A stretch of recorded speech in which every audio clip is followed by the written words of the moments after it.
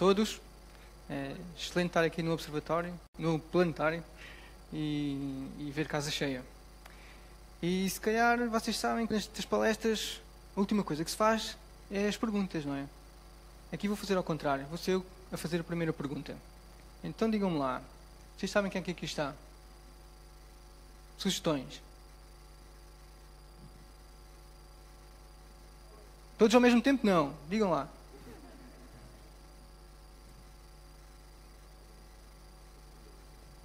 O Criador. Aqui, aqui deste lado. Já me disseram que era Deus, já me disseram que era Zeus.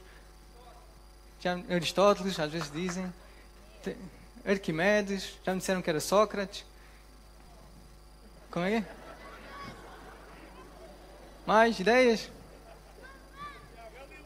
Galileu, boa. Ora bem, é Arquimedes, sim senhor. A pista é. Está ali uma alavanca, não é? E porque Arquimedes disse aquela famosa frase: dê-me um ponto de apoio e uma alavanca e levantarei o mundo. Certo? E então é isso que vai acontecer aqui no, na, nesta palestra no planetário. Vou tentar explicar como é que os, os astrónomos sabem a massa da Terra, a massa do Sol, a massa da Via Láctea e depois vamos para a cosmologia. Aí já não faz tanto sentido falar em massas, mas em falar em abundâncias, em percentagens daquilo que existe no universo. É? Outra coisa que está ali em cima, vocês estão a ver aqui esta placa, os gregos acreditavam, na época de Aristóteles eh, e, e de Arquimedes, e muito antes, que o universo era composto, o mundo era composto por estes cinco componentes.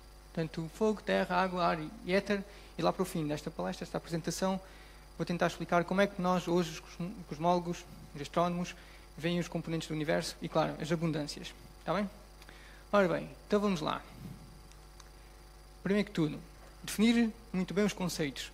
Quando eu falar de massa, não estou a falar de esparguete, não estou a falar de dinheiro, estou a falar daquela quantidade que nós medimos em quilogramas. Está claro, não está? Ótimo. Ora bem, e agora vou começar com uma história. A história do Tizeca Vila Nova. Como vocês veem, Tizeca Vila Nova é um algarvio, está ali debaixo da amendoeira, estava ali a contemplar a vida, se calhar o mar, se calhar o campo. Em certa altura, cai uma amêndoa em cima do Tizeca Vila Nova. E aquilo fez luz. Calma lá. A força que faz com que esta amêndoa caia deve ser a mesma que faz com que a Lua ande à volta da Terra. Estão a perceber? Se calhar já ouviram esta história. Isto é uma ideia extraordinária, fantástica. O homem decidiu sair de Portugal, foi até a Inglaterra a uma conferência e depois decidiu ficar por lá. Em vez de se chamar T, passou-se a chamar Sir. Em vez de Zeca, passou-se a chamar Isaac. Em vez de Vila Nova, passou-se a chamar Newtown. Newton. Já perceberam, não é? Isaac Newton. Ele afinal era algarvio. Sabem dessa? Não sabiam se calhar, estou-vos a contar. Ora bem, isto é importante porque agora vamos aqui assim, um bocadinho mais sérios. A relação, a relação entre a amêndoa cair e a Lua andar à volta da Terra ver com esta equação. Ele percebeu que a aceleração da gravidade é igual a uma constante qualquer, isto agora não funciona, vezes a massa da Terra a dividir pelo raio da Terra ao quadrado. Esta é a força que um corpo sente aqui à superfície da Terra. Então, para saber a massa da Terra, precisamos desta equação e precisamos então de saber estas três quantidades: a aceleração da gravidade, a constante gravitacional e o raio da Terra. Bom? Em equações é isto. Este G é igual a G grande, maiúsculo, a massa da Terra e o raio da Terra ao quadrado. Precisamos destas três quantidades para saber a massa da Terra. Certo? Então, a primeira coisa a fazer, agora sim é o Galileu, tradicionalmente diz que Galileu atirou vários pesos de cima da Torre de Pisa para determinar, ou podemos assim determinar, a aceleração da gravidade. E já sabem, se nós atirarmos dois pesos ao chão, atirar não, mas lançar ou deixar cair dois pesos de massas diferentes, qual é que cai primeiro ao chão? Como? Mal. Qual é que cai primeiro ao chão? E já dei tantas voltas, já não sei onde é que estou. Vamos lá ver. Vamos lá ver. Vamos fazer a experiência? É porque o pessoal andou enganado durante dois mil anos por causa de Aristóteles. Tinha aqui uma moeda. Tenho aqui uma moeda, tenho aqui uma garrafa d'água. O que é que vai cair primeiro ao chão? A garrafa d'água está cheia, já agora, quase cheia. Fazer experiência? Um, dois, três. O que é que caiu primeiro? Caíram os dois ao chão, ao mesmo tempo, certo? Pronto, podes baixar as luzes então. Ora bem, isso é importante. Portanto, a aceleração da gravidade é igual para todos os corpos. E é assim que nós, e podem fazer a experiência lá em casa, atiram vários corpos, ou um corpo, várias vezes de uma certa altura, medem o tempo a chegar ao chão, e então determina que a aceleração da gravidade é este 9,8 metros por segundo menos 2. Aquilo está, está num errozinho, já é menos 2, está bom? Pronto, temos o primeiro parâmetro. O segundo parâmetro, aquela constante gravitacional, tá? Então, isso, essa constante gravitacional foi determinada por Cavendish. É outro senhor, inglês, uh, não era Algarve, isto era mesmo inglês. Então ele construiu este aparato numa casinha, casinha pequena de 3 metros por 3 metros, seu quintal. Já vou explicar porquê.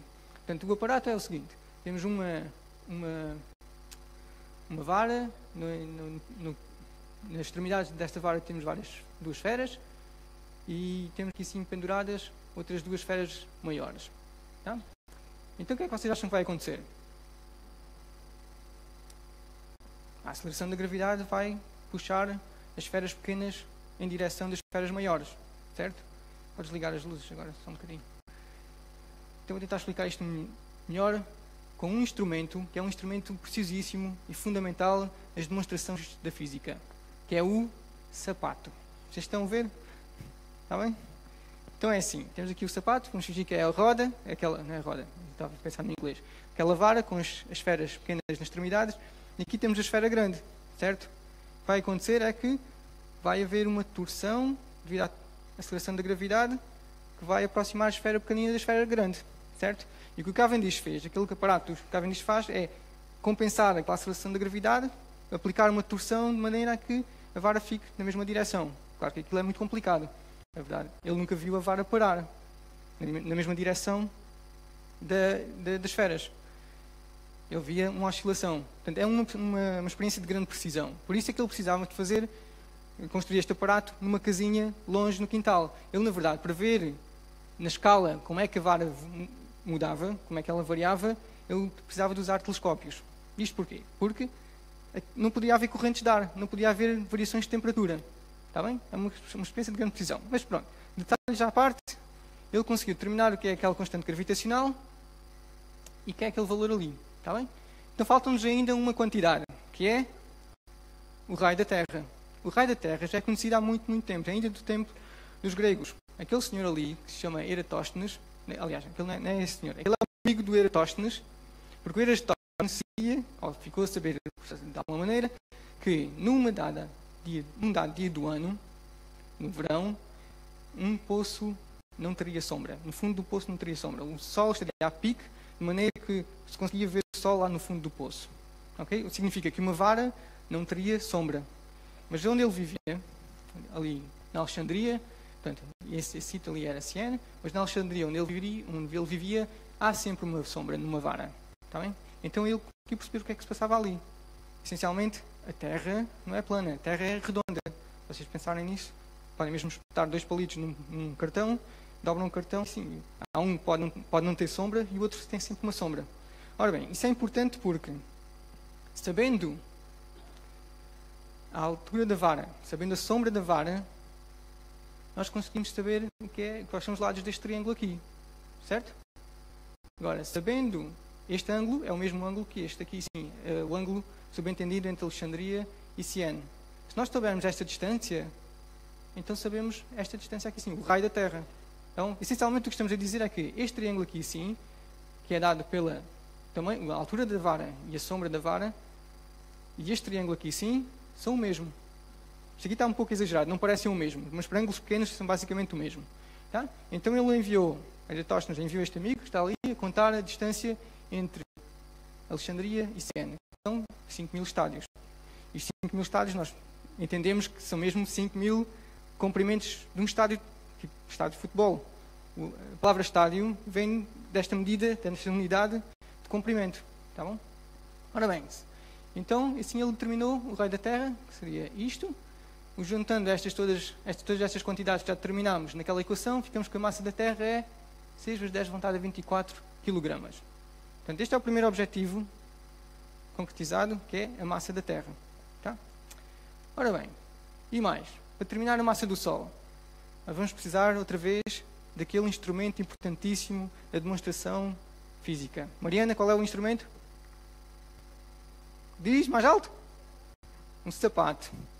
Luzes, faz favor.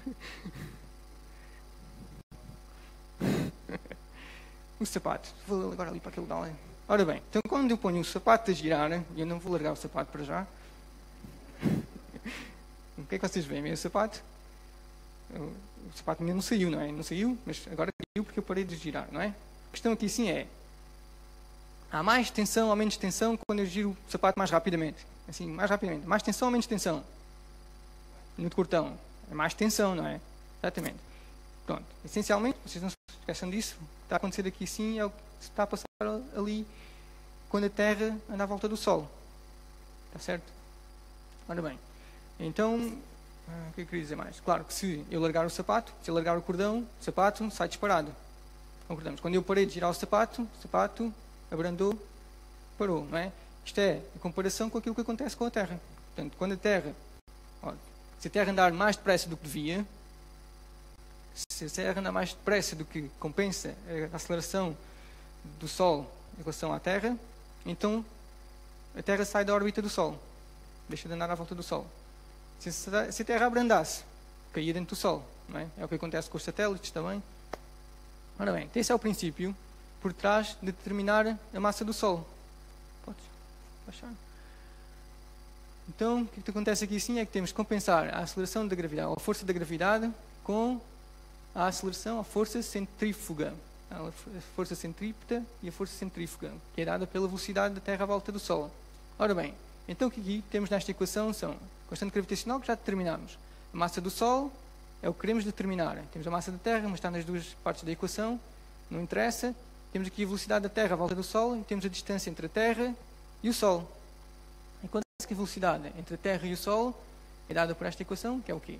É o perímetro da órbita, digamos, a dividir pelo período. E o período é o quê? É o tempo. É um ano, exatamente, é um ano. Mas isso nós sabemos. A única quantidade aqui sim que nós não sabemos nesta equação, então, é a distância entre a Terra e o Sol. Então, a única coisa que nos falta aqui sim, dadas as nossas leis físicas, é determinar a distância entre a Terra e o Sol. Tá? Como é que nós fazemos isso? Ora bem, a primeira pessoa a fazer, a conseguir determinar a distância entre a Terra e o Sol foi este senhor, o Cassini. Se calhar peço para acenderem novamente as luzes, subirem as luzes, faz favor. Então vamos fazer, eh, o Cassini terminou isto por um efeito que chama-se paralaxe. Então vamos fazer a experiência, se calhar vocês, muitos de vocês sabem o que é, não é? Mas para aqueles mais pequenos, então vamos fazer o seguinte, vão, vão esticar o dedo, apontem, esticar o dedo assim, assim a pediboleia, lá para cima, não é? E fecham um olho. E agora, fecham só um olho, não é? E agora trocam de olho. Abrem, fecham um e, fecham, e abrem o outro. O que é que aconteceu? O pulgar moveu-se, não foi? O pulgar mexeu. Portanto, é, esse é o princípio. Tá? Convencidos? Já podem baixar os braços. esse é o princípio por baixo, por, por trás de, desta experiência, desta observação. Então, Cassini estava em Paris, e vocês sabem, há aqueles físicos manhosos que mandam os amigos para sítios distantes do globo, não é? Então Cassini mandou um amigo para a Guiana Francesa. Oi. Então, então o papel dos olhos agora é feito por Cassini em Paris e o outro amigo na Guiana Francesa. O papel do polegar é feito por Marte. Eles mediram a posição de Marte no céu. Assim, viram que, obviamente, estava em sítios diferentes, então há, há ali uma, uma, distância angular uh, específica, e então sabendo esta distância, ficamos a saber esta distância. Então, se nós soubermos qual é a distância angular, quanto é que o, o polegar mexe na parede, e soubermos a distância entre os nossos olhos, ficamos a saber o tamanho do braço. Essencialmente é isso, está bem? Pronto, e assim ele determinou a distância entre a Terra e Marte. Mas eu disse que nós precisávamos era do quê? Era do quê? A distância entre a Terra e o Sol, não é? Ora bem, então o que é que isto interessa?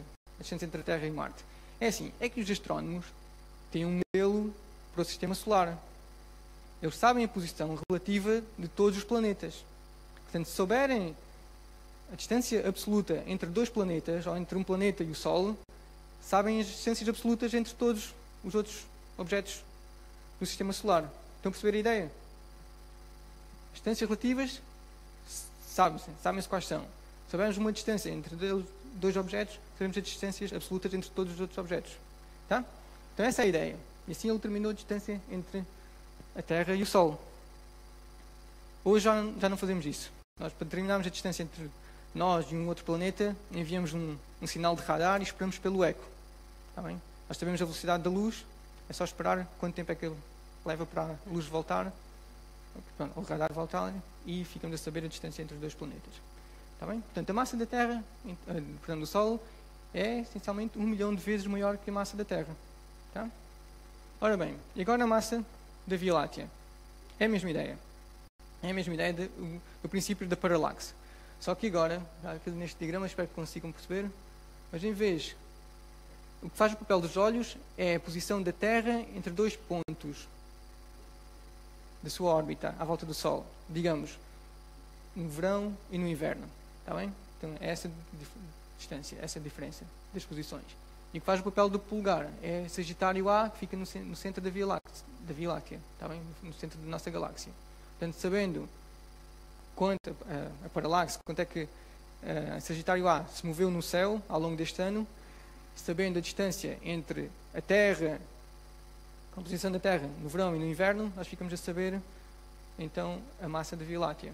O que é interessante é quando nós calculamos a massa da Via Láctea desta forma e, por outro lado, contabilizamos a massa de todas as estrelas que nós vemos na Via Láctea, fazemos uma estimativa, assumindo mais ou menos que todas as estrelas têm mais ou menos a mesma massa, a mesma massa que o Sol, digamos, então está a faltar massa. Está bem? Há muito menos massa, quer dizer, cerca de um terço menos do que existe quando nós calculamos por este método do sapato, do sapato não, da paralaxe, perdão, da paralaxe, quanto, quanta massa é que existe no, na Láctea. E isso nós chamamos de matéria escura. Essa massa está a faltar, nós chamamos de matéria escura. Está bem? Já lá vamos. Pronto, agora vamos para a cosmologia. Como eu estava a dizer antes, já não faz sentido falarmos em quilogramas, vamos falar em abundâncias. E uma coisa importante, o princípio da cosmologia começou com este diagrama aqui. É um diagrama que Hubble construiu. Ele mediu a distância uh, às várias galáxias e mediu a sua velocidade e construiu este diagrama. E ele viu que as galáxias mais distantes estão mais perto ou mais longe? Perdão, está... essa é boa, essa é fácil, não é? As, as galáxias mais distantes são mais rápidas ou mais lentas? São mais rápidas. Estão-se a aproximar ou estão-se a afastar? Estão-se a afastar. Daí a ideia do universo estar em expansão. Não é? Isso não é óbvio. E só, só muito mais tarde é que foi realmente definido, definido ou, ou entendido que era mesmo assim, que o universo está em expansão. Havia outras possibilidades. Mas a interpretação realmente mais fácil é essa, que o universo está em expansão. Não? Tá Ora bem, então isso é importante. Então, se o universo está em expansão, significa que no passado era mais pequeno, era mais denso, era mais quente. E com as leis da física que nós conhecemos hoje, nós conseguimos perceber quais são as épocas por que passou o universo. Tá então é isso. Podíamos, construímos este diagrama aqui. Deu muito trabalho a desenhar isto, confesso. Ora bem, para além do Big Bang, vocês já ouviram falar, que eu não quero falar muito agora, para além da inflação, que eu não quero falar muito agora, nós sabemos, temos, já estamos mais seguros desta época aqui, sim, da época dos quarks. Os quarks existiam, portanto, quarks são partículas elementares fundamentais na natureza. E quando o universo expandiu e arrefeceu, então estes quarks colapsaram, não é bem colapsaram, mas agregaram-se para formar os neutrões e protões.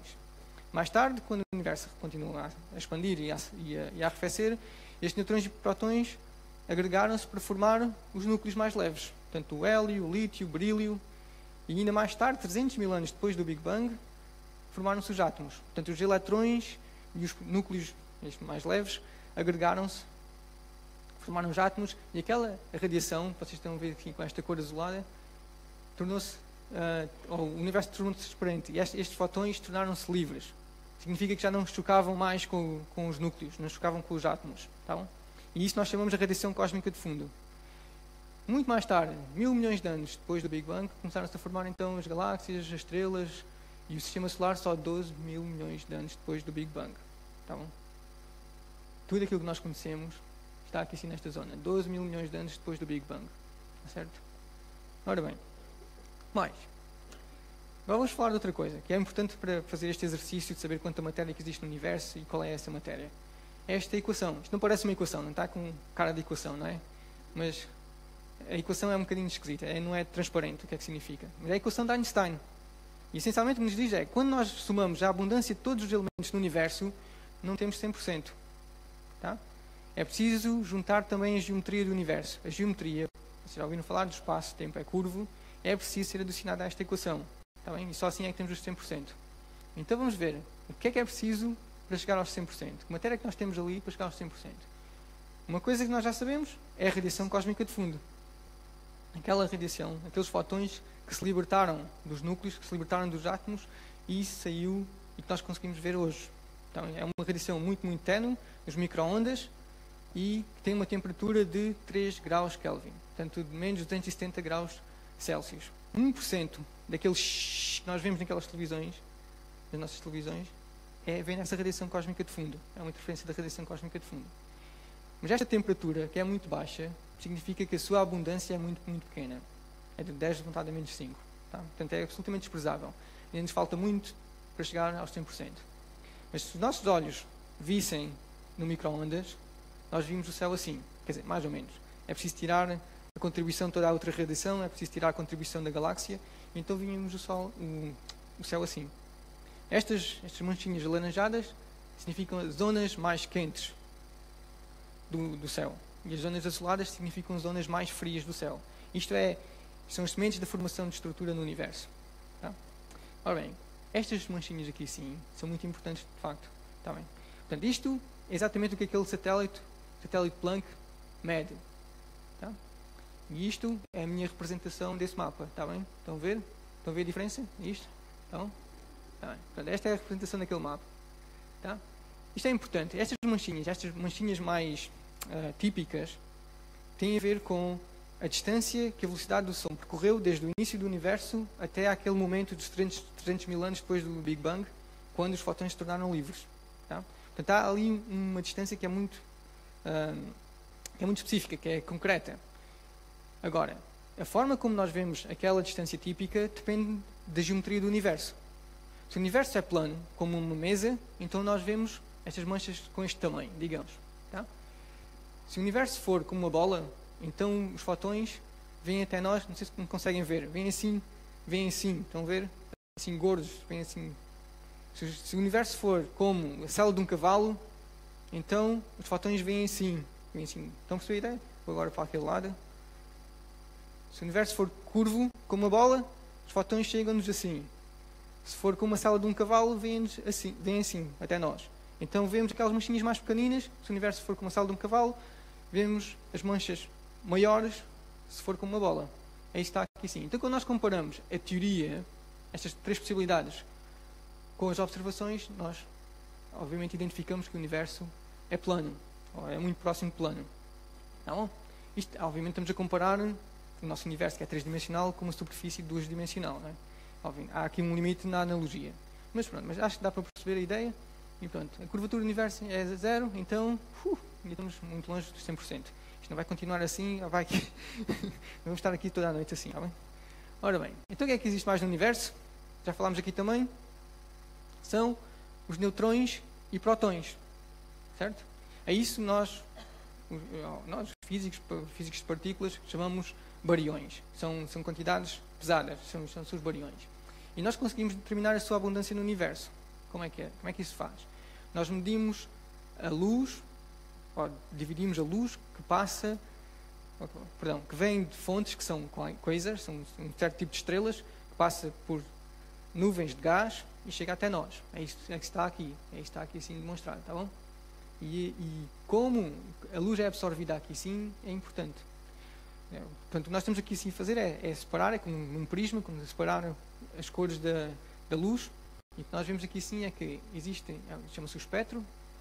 Quando há aqui sim uma, uh, um, um, poço nesse, nesse espectro, aqui há dois poços, estão a ver? Significa que nesta frequência, há um poço nesta frequência, significa que existe deutério naquela nuvem de gás. Se existe um poço nesta frequência, significa que existe hidrogênio naquele gás. E a razão entre estes dois poços dá-nos a abundância, ou a razão entre a abundância de deutério e hidrogênio. Bom, isto é muito importante. Agora, quando nós fazemos essa medida do espectro, da luz que vem de, de, dessas estrelas distantes que atravessa as nuvens de gás, e comparamos com a teoria, e estou a falar da teoria que dá a formação dos núcleos, é esta parte aqui sim, que acontece entre um segundo a algumas horas depois do Big Bang, da formação dos, dos núcleos leves, que eu vos falei, o hélio, o lítio, o berílio. Então, comparando isto com a teoria, portanto, isto são as observações, a razão entre deutério e hidrogênio, comparamos com a teoria, e a teoria só depende de um parâmetro. Não vos vou explicar isto agora, mas têm de acreditar em mim, só depende de um parâmetro, que é a abundância de neutrões e prótons hoje. Tá? Então, o que é que nós conseguimos ter? A interseção é aqui nesta zona, que é 0,05. Isto significa que 5% do universo é feito de, destes bariões, neutrões e protões. Agora, isto devia, devia vocês, certamente muitos de vocês já ouviram falar disto, mas deve atingir-nos sempre. Porque tudo aquilo que nós experimentamos, tudo aquilo que nós, nos é familiar, portanto, isto, então, nós mesmos somos feitos de neutrões e protões.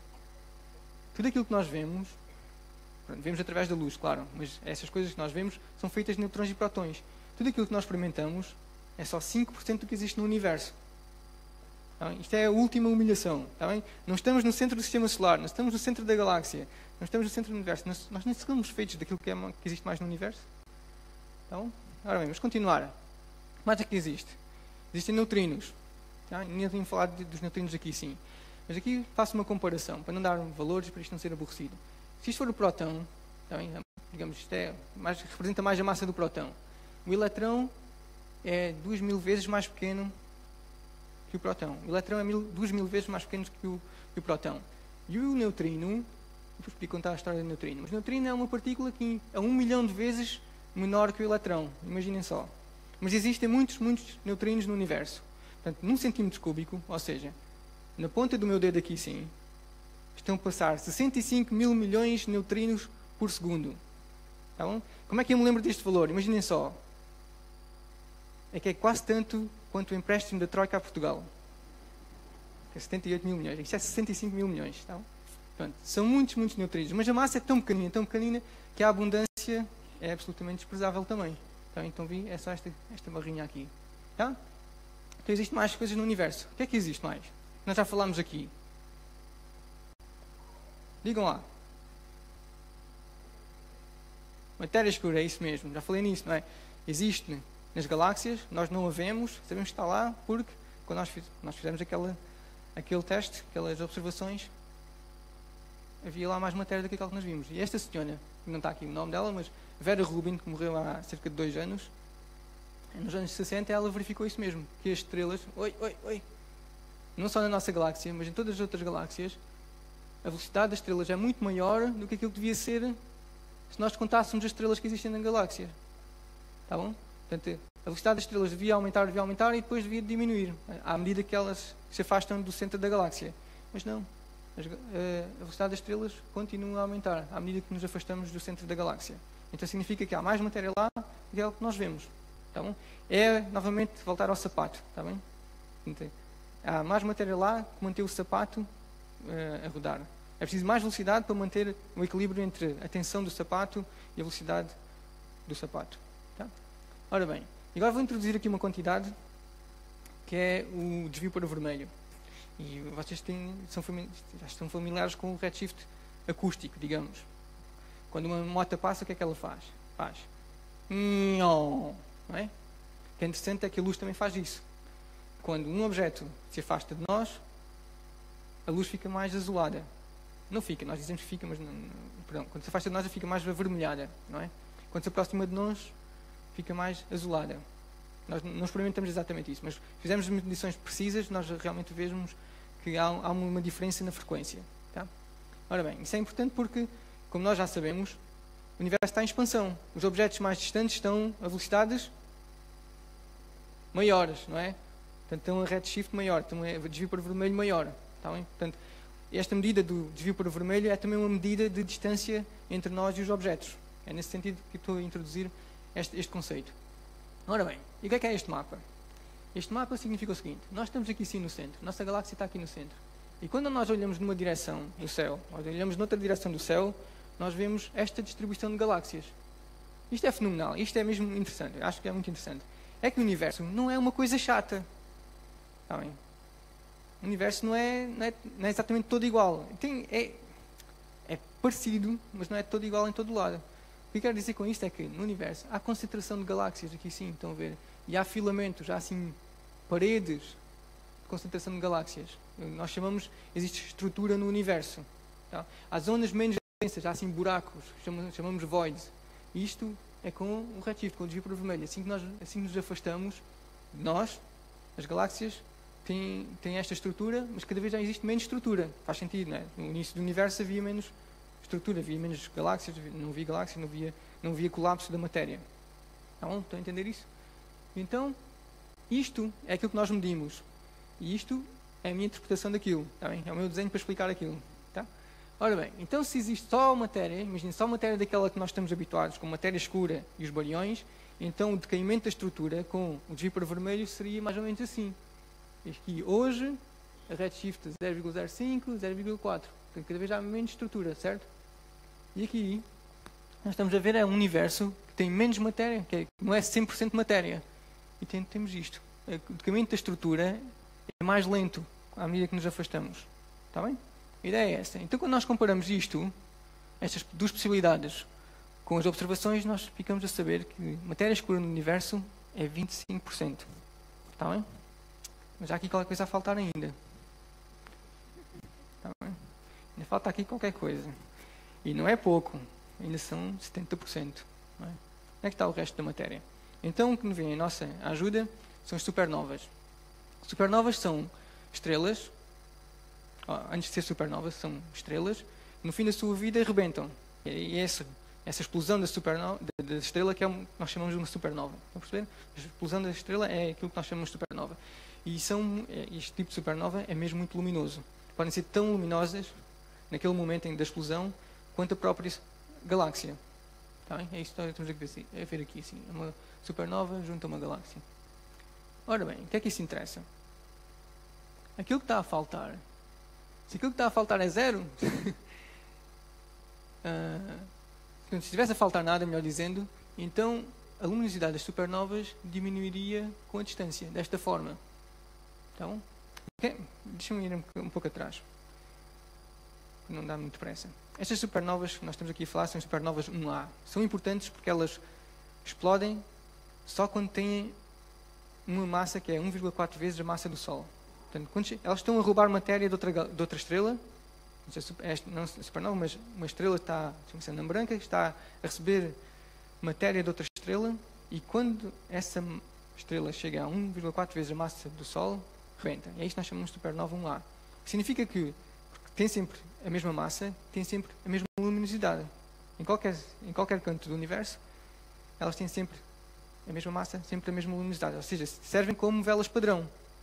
Porque as velas que tenho na minha casa são iguais às vossas velas. Têm a mesma luminosidade. Está bem? Quando nós sabemos, quando nós vemos um carro com os faróis ligados, sabemos a que distância é que ele está. Porque mais ou menos os, os faróis dos carros têm sempre a mesma luminosidade e isso dá-nos uma indicação qual é a distância. Isso é importantíssimo também para quem anda na estrada, certo? Ora bem, então voltando às supernovas, se só existe matéria e radiação no universo, são matéria escura, então o decaimento da luminosidade das supernovas decai desta forma. Mas se existe mais qualquer coisa no universo, aquilo que nós chamamos de energia escura, então elas, a luminosidade das supernovas decai mais rapidamente. O brilho das supernovas decai mais rapidamente com a distância, em redshift, em, desvio para vermelho.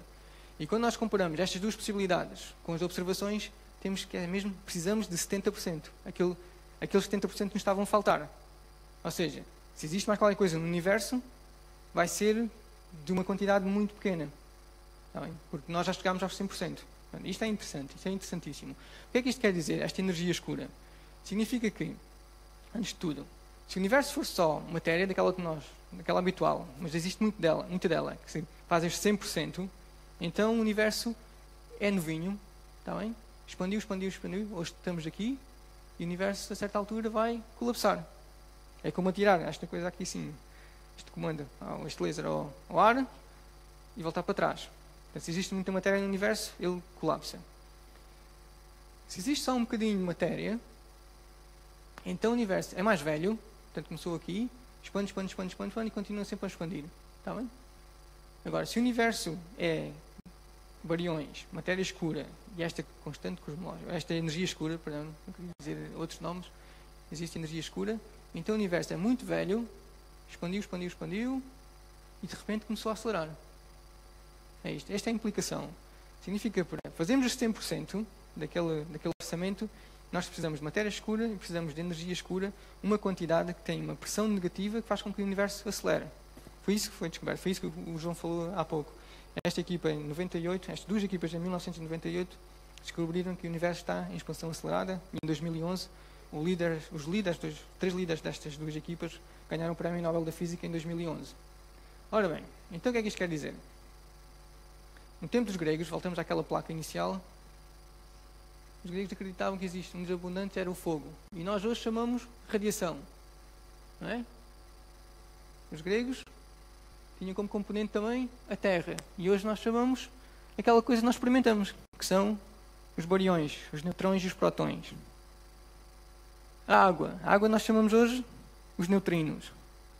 Ao ar, nós chamamos aquela coisa que nós sabemos que está lá, mas não vemos, é a matéria escura. E aquela coisa ainda mais esquisita, que os gregos chamavam éter, nós chamamos energia escura. Certo? Isto é metade do argumento. Tá? Porque nós hoje temos os números. Tá Imaginem só, a cosmologia começou em 1929, mais ou menos. Mais ou menos, mais, com as observações de Hubble. Certo? Concordam comigo? Não chegámos ainda a 100 anos de cosmologia. A cosmologia moderna tem menos de 100 anos. E só nas última década, na última década, aliás, faz, faz este ano, faz em fevereiro 20 anos, que foi anunciado a expansão anunciada do universo. Só há 20 anos é que nós temos estes números. Imaginem só quão, quão, recente, quão recente é esta cosmologia. Está bem? Vejam só quanto é que nós avançámos desde o tempo dos gregos, estamos a falar de 600 anos antes de Cristo, e hoje. Estão a perceber? E hoje, 2018, ninguém está a perceber? Hoje, 2018, é que temos estes números, está certo? Ora bem, pronto. Há aqui muitas perguntas por responder. É? O que é, que é a matéria escura? O que é, que é a energia escura? O que é que são os neutrinos? Qual é a massa dos neutrinos? Como é que o universo é tão, nós dizemos, homogéneo e isotrópico? Tá Quando nós olhamos para o universo naquela, naquela região e olhamos para o universo na região complementar, é parecido, parecidíssimo. E aquela região nunca teve a falar com aquela região. Como é que isto acontece? Tá é, é, são esses problemas que nós andamos a tentar perceber, do ponto de vista teórico, como é que se, como é que se resolvem, quais são as possibilidades, quais são os modelos, e também, do ponto de vista observacional, tentar obter mais dados para alimentar os teóricos, para conseguirmos, para conseguirmos constranger os modelos ou para dar mais pistas na construção dos modelos e tentar perceber a natureza da energia escura. Pronto, e agora aqui, está bem? Espero que tenham entendido tudo e obrigado pela vossa atenção.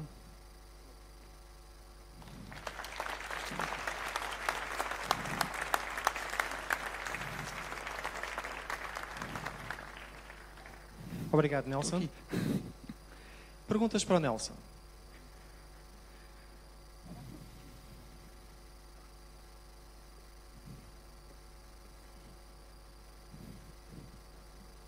Boa noite. Boa noite. Uh, meu nome é Nadine. Um, eu tenho uma questão, não sei se fui eu que perdi ou não percebi.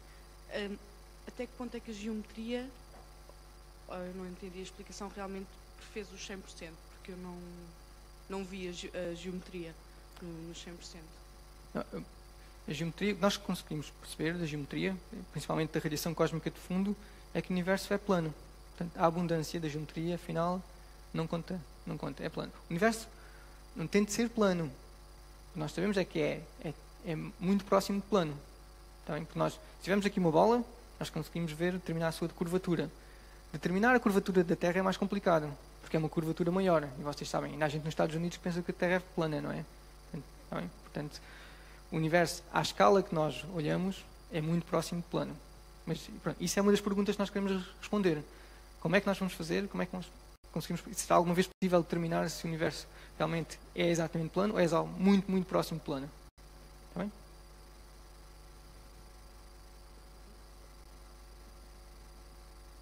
Mais perguntas?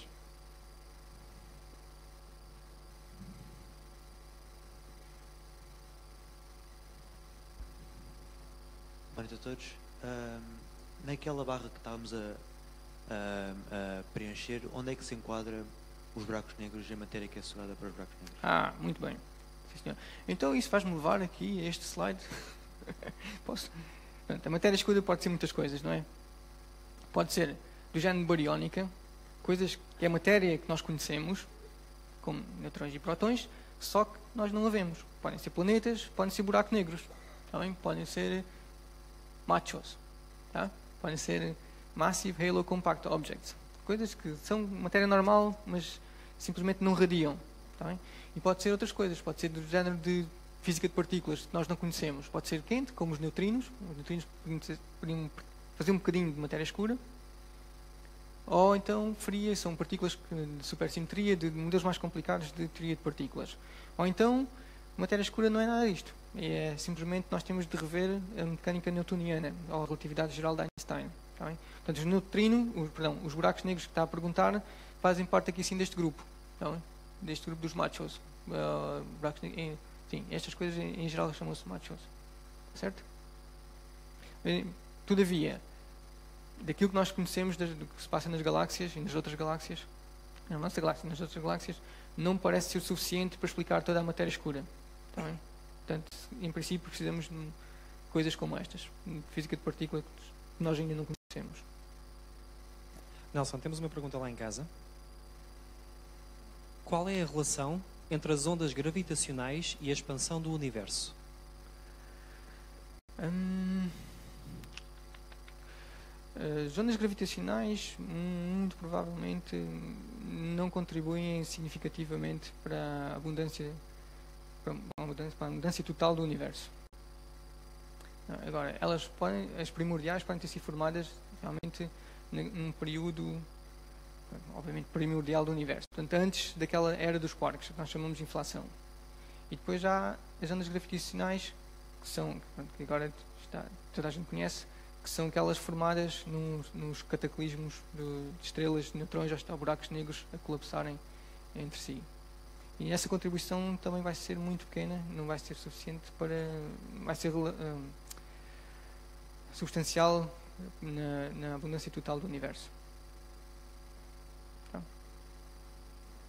Mais perguntas?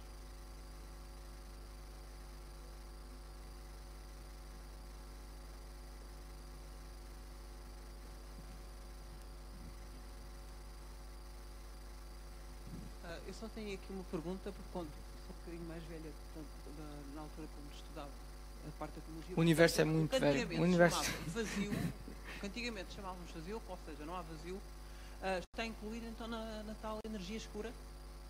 Ah, pronto. Eu aqui não quis dar nomes, quis manter a, palestra suficientemente simples, mas uma das possibilidades para a energia escura é a constante cosmológica. Ou, por outro lado, também se costuma dizer, a energia do vazio. Está em constante cosmológica. Portanto, essa é uma possibilidade. É a possibilidade mais simples, mas não é, não é totalmente satisfatória. Estou aqui com um problema de sapato, com um instrumento de divulgação científica. Pronto, a energia, eu, queria, eu estou a fazer isto porque eu queria mostrar um slide. Pronto. Ora bem, então, energia escura e energia do vácuo. Vou mudar aqui. Pronto, energia, se calhar mostro aqui este slide primeiro.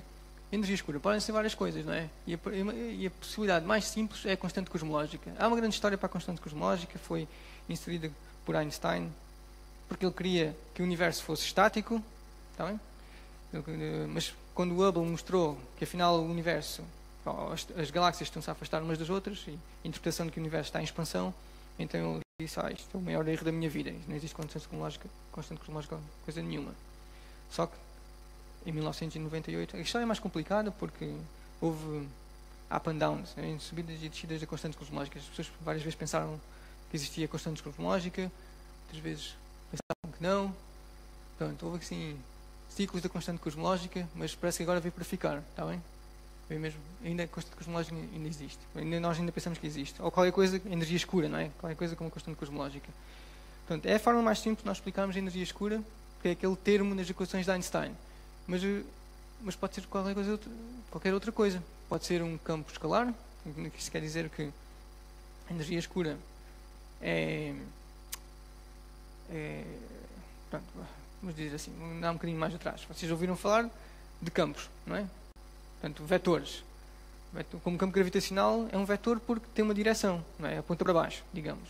O campo eletromagnético é descrito por três números, não é? Tem um valor e tem, tem três valores para lhe dar uma direção também. Um campo escalar é uma coisa, não é, mas é uma coisa parecida com uma temperatura. É só um, é descrito por um número. Tem um valor aqui, no canto da sala ali, se calhar tem outro valor, temperatura. Tá? O campo escalar é uma coisa assim. Portanto, tem um valor constante durante o universo. E, e pode ser um, uma, uma fonte de energia escura. Ou então pode ser uma coisa bizarra, a gente trabalha nisso, que é um fluido que se comporta como matéria escura no passado e comporta-se como energia escura hoje. Tá bem? Isso é interessante. Vocês lembram-se de eu dizer, não, ainda não disse, mas o universo começou a acelerar mais ou menos quando o sistema solar se formou. Tá bem? Antes, quando eu estava assim, a falar com uns amigos e expliquei que o universo começou a acelerar recentemente, perguntaram-me: o universo está a acelerar recentemente? Isso tem alguma coisa a ver com o aquecimento global? Não. O universo começou a acelerar, na verdade, há muito tempo, não é? Portanto, é quando o sistema solar se formou. Pronto. Mas estou a dizer isto porquê? Porque, porque, para explicar o fluido bizarro. Portanto, o universo pode ter sido, ou, a energia escura pode ter sido, na verdade, matéria escura no passado e hoje uh, acelerar o universo. E há outras possibilidades que é modificação à gravidade de Einstein, ao que o universo é feito de. É assim como um queijo suíço. Tá tem buracos, tem aqueles voids muito grandes. Parece que o universo está acelerado, mas na verdade não está, porque há taxas de expansão do universo diferentes dentro do void, do, do, de uma região menos densa do universo, comparado com a taxa de expansão do universo lá fora. Tá bem? Portanto, estas são as possibilidades assim, mais populares para explicar a, a, a aceleração do universo. Sim. Pronto, a questão é essa. Ainda bem que me mandou de volta à Terra. Uh, portanto, o vácuo, o vácuo, vácuo, vácuo não é exatamente vácuo. O vácuo não existe porque, em princípio, haverá sempre qualquer coisa e não nada. Ou seja, exatamente. Pronto, é que o vácuo não é nada.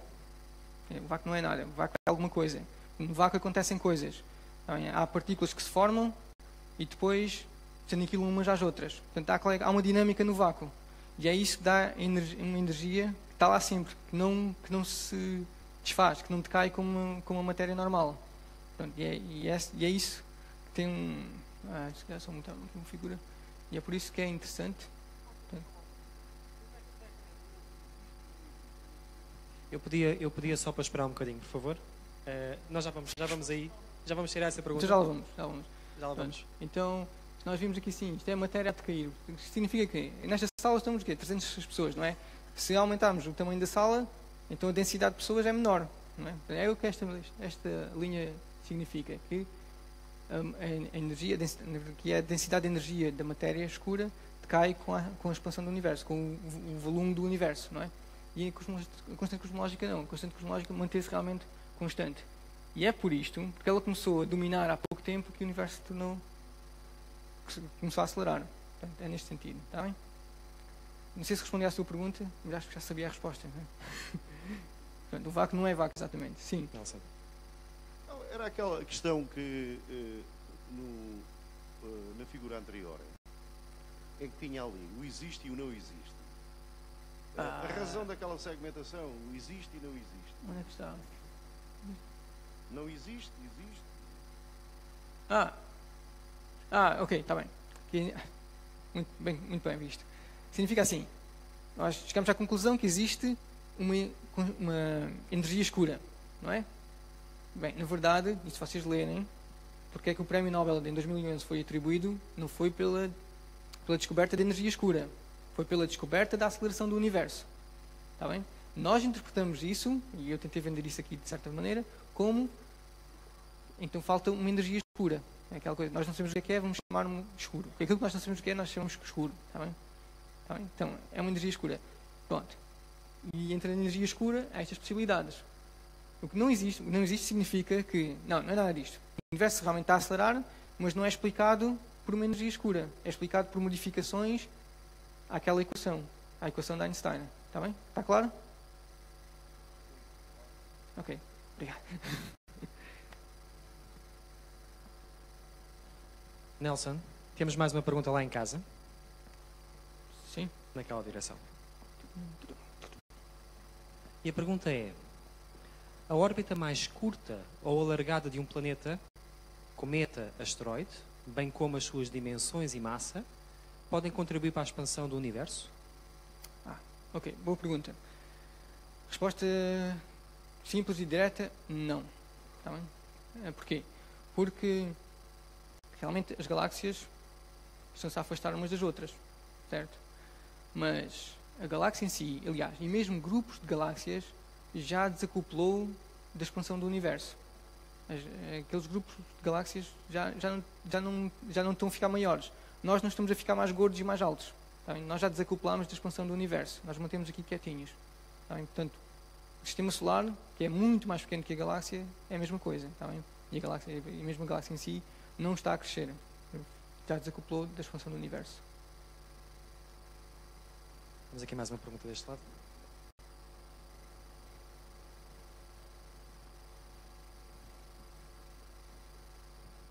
Boa noite. Olá. E obrigado pela palestra. Eu queria perguntar, que, sendo certo que uh, o universo está em expansão acelerada e essa aceleração há de levar a que os, os corpos, pelo menos um, grupos locais, grandes grupos locais de galáxias, se afastem umas das outras. Quer isso dizer que o universo há de ficar escuro a uma dada altura? Ou seja, já não estaremos cá, mas quem cá estiver, eh, se é que isto ainda existe nessa altura, há de olhar para o céu e não ver praticamente nada a não ser uh, o que está na nossa galáxia. É correto esta, esta leitura mais do que não? Isso, ainda é mais triste do que isso. É assim, vamos lá ver isto.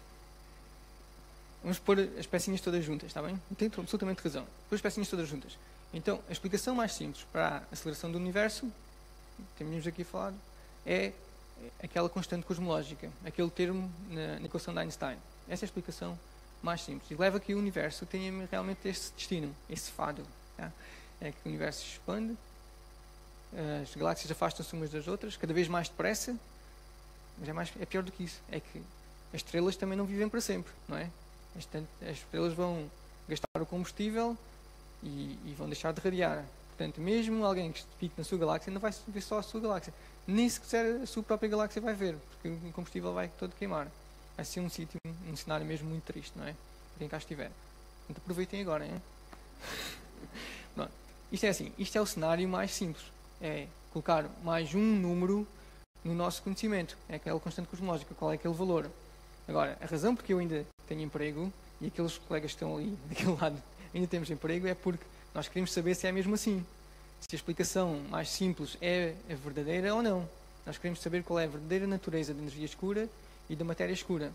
E, e, e quando nisso soubermos, há duas maneiras. É o top-down e bottom-up, não é? Portanto, ou nós, das observações, conseguimos determinar qual é a natureza da energia escura, ou construímos, como Einstein, constrói uma teoria espetacular que depois daí sai tudo aquilo que nós vemos, de uma maneira ou de outra, nós tentamos perceber qual é a natureza do universo, o que é que vai acontecer no universo. É mesmo assim ou não? Vai ser. Vai se vai expandir, nós vamos deixar de ver as outras galáxias e os outros sóis? Ou isto vai voltar a colapsar? Ou o que é que vai acontecer exatamente? Portanto, vamos deixar a coisa em aberto para já, mas no modelo mais simples é como estava a sugerir. João? Temos tempo para mais uma pergunta, Nelson. Aqui à tua direita minha direita. Uh, Nelson, uma, uma, questão um bocadinho à parte disto, e se calhar um bocado cinematográfica. Onde é que entra a antimatéria, que se falava tanto há muitos anos e agora não entra em, em lado nenhum nas coisas novas que aparecem? Está o bem, que é, está bem, em relação a isto? Está bem, está bem, está bem. Muito bem, muito bem. Então, é assim, a antimatéria existe. E nós, nós medimos nós medimos, ou, ou diretamente ou indiretamente, nós, nós medimos e realmente existe antimatéria. E nós podemos construir antimatéria nos aceleradores de partículas. Está bem? Portanto, ela existe. Ela, ela, anda, ela anda aí. Está bem? A questão é a seguinte: é que é mesmo muito, muito pequena. A sua abundância é mesmo muito, muito pequena. Um, nós dizemos que há uma assimetria que foi formada no início do universo. Nós não sabemos exatamente quando, depende dos modelos. É uma coisa que nós também temos de, de perceber. Não estava na minha lista, mas é uma daquelas coisas que nós temos de perceber, que é porque é que existe uma assimetria na, entre matéria e antimatéria. É, é assim, nos aulas às vezes, não, às vezes aqui mesmo nestas palestras faço o seguinte, ponho uma claque do Benfica de um milhão de jogadores, no, de um milhão de fãs, e uma claque do Sporting de outro milhão de fãs. E elas colidem uma com a outra e aniquilam-se umas às outras. Vocês sabem como é que são os claques do Benfica e do Sporting, não é? Aniquilam-se umas às outras. E sobra um. Imaginem só. Portanto, o que isto quer dizer é o seguinte. Se existe matéria e antimatéria no início do universo, aniquilaram-se todas as partículas, porque elas formam simplesmente radiação, e só sobra uma no milhão. Ah, perdão, é mil milhões, é mil milhões, na verdade, mil milhões. Estão a ver a ideia? Portanto, há qualquer coisa no início do universo que faz um bocadinho mais de matéria do que antimatéria. Está bem? Porquê?